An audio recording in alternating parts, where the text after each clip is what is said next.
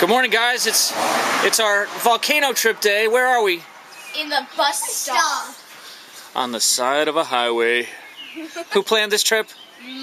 Mommy. so what were you singing? Oh, Oh, the, da- a Daddy song. Sing it. to hear it?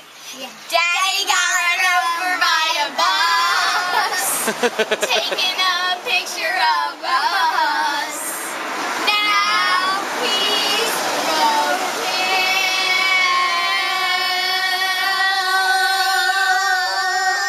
Happy holidays from Tenerife, everybody. Hey!